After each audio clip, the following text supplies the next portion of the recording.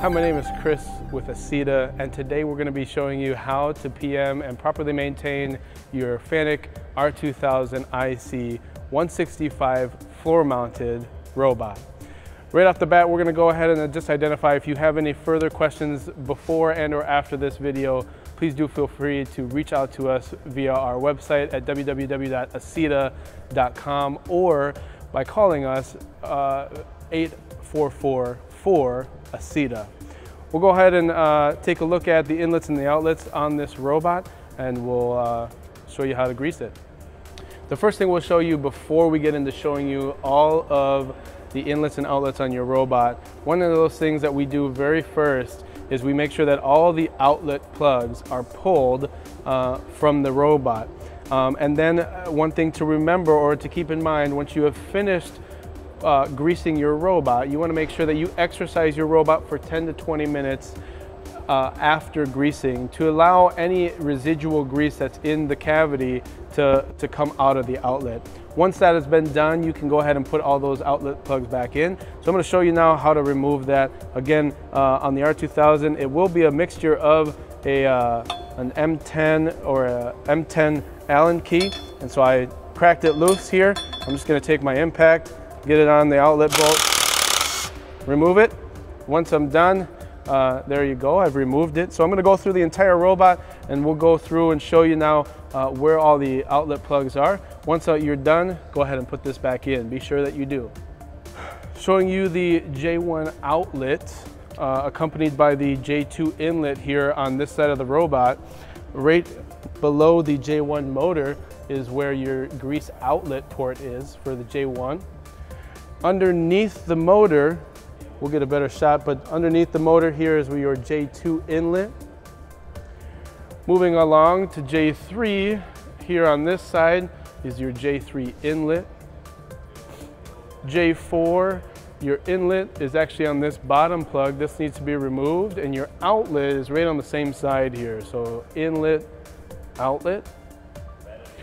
Your J, your J4, 5, and 6 um, your inlet is on the bottom of the J4 casting. Your outlet is right here on this bolt. So this bolt will need to be removed. Your other outlet, once you have pushed grease through here, you have a couple more outlets on the other side. We'll come over to the other side and we'll get that video, get that for you. Your J6 is separate from this cavity, meaning that you can't take and push grease from this point all the way out to the end of the wrist. That's why they have this grease port here. This is your inlet here. And actually on the other side of this robot, up on the top of the wrist here, is your outlet. We'll get some better shots for you just coming up in a bit. Coming to this side of our R2000 165, um, our J6 outlet, like I showed you just on the other side, but we're gonna take a look at that. Your outlet port is here located on the top. Your outlet, when you push grease from this point, the other two outlets that I mentioned before were this point here and this point. You can actually just pull this outlet port and push grease from here through the, through the wrist and then out this port here.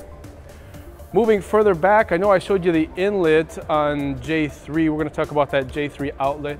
Um, and so that J3 outlet is located right underneath or right below. It's kind of, if you look at the R2000 construction here, there's an odd bolt out. And so that odd bolt right here is your outlet for J3.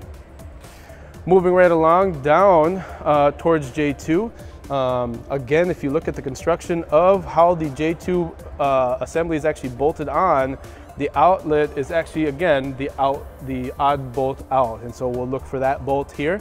And so as you push grease in from the other side, Again, you should look for that grease flow to come out here. Moving down to our base, I showed you where on the other side, where uh, the outlet is underneath that J1 motor. Your inlet, you got to kind of get on your hands and knees here, but it is actually located on the base of the robot, located where my hand is currently. After that, uh, again, uh, any questions about application or what we use to push grease through the robot, again, feel free to call us at 844 for ACIETA or on our website, reach out to us at www.acieta.com. After you've gone through and greased J1 through J6 on your R2000, the last two portion, the last two things that need to be greased are, uh, is, your, is your balancer. And there's two points on the balancer that need to be greased. Um, there are already uh, greased Zerks uh, that Fanuc has put on those two those points, and one is on the uh, left side and one is on the right side. And so those will need to be greased as well. You simply push grease through there until you can see it in between or coming out of uh, these two cavities here. And so once you've done so uh, and see a little bit of that grease coming out, you've got it greased and you're good to go. The next thing we're gonna do after we've exercised our robot for about 10 to 20 minutes, is we're gonna replace the D-cell batteries in the base of this robot. Now it is important that you do keep the power on to your robot when you are replacing these batteries. If you don't, uh, you're gonna have a bad day.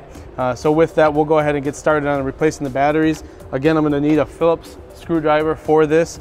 Uh, and here's our battery box. And so I'm just gonna release or take the battery box cover off. Just gonna remove the cover.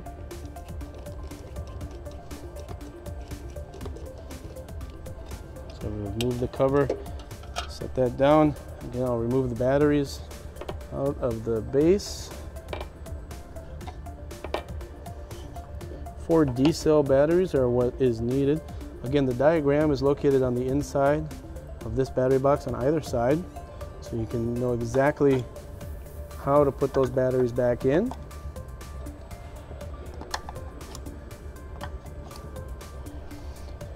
Putting the battery box back on, I'm to make sure that that Fanuc lettering is facing towards the ground put that battery box back on. Once I start tightening these screws down, screws down, I want to make sure that I'm not going to over tighten them and that uh, the bolt head will can or is susceptible to snapping off if you over torque it. So just nice and snug. That's it. Once you have changed the grease in your robot, exercised and changed the batteries in the base of the robot, the last battery that you need to change is the one here in the controller. Again, do be sure there is high voltage in this controller, so do be sure that you are complying with your uh, workplace's uh, safety. And so with that, I'm gonna go ahead and turn off the robot controller and the main power disconnect here uh, going to the top side of my disconnect. So I'm gonna go ahead and turn this to the left That'll turn off the robot controller. I have about 30 minutes to change this battery out before I lose the contents that is uh, of my memory. And so with that, do keep that in mind. So I'm gonna go ahead and turn off the main disconnect. And once I do so, I'm gonna take my flathead screwdriver, insert it into the lock, just give that a turn. To open the door, I'm gonna take and turn my disconnect to the right, to the left, and I'll open up the door at which point I'm going to locate the battery located here on the top of the main board. I'm going to give it a firm grip on the two leads going that, on the connector. I'm going to give it a gentle pull out, at which point I'm going to release the battery. There's a little tab here. If I pull that tab to the right, that will release the battery. And so this is your RAM battery. Once you have a new replacement, um, there is no special uh, connector or anything that you need to do, uh, you can just reinsert this back in to your main board. So with new battery in hand, we're gonna go up to uh, the plug-in, uh, being sure that it doesn't bend any of the pins over. You'll feel a click once you have inserted it correctly all the way. And then I'm gonna take and push the battery back into the holder and you will just have to uh, push it in all the way until it's seated. Once I'm finished, I can go ahead and close the door up and that has been uh, PMing your R2000 IC 165 floor mounted robot. We've greased, changed the batteries in the base and in your in the controller of the robot. If you have any further questions like what type of applicator we use to grease the robot with or any other general questions about robotics or how to service this robot in particular, do feel free to reach out, out to us uh, by, on our website www.acieta.com or uh, our phone number is 844 4 ACIETA.